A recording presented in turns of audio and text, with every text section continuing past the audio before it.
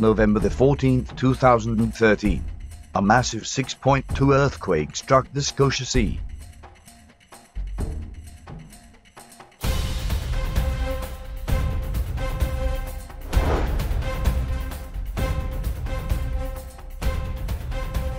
Matthew 24, 6 to 8. For all these things must come to pass, but the end is not yet. For nation shall rise against nation, and kingdom against kingdom, and there shall be famines, and pestilences, and earthquakes, in divers places. All these are the beginning of sorrows.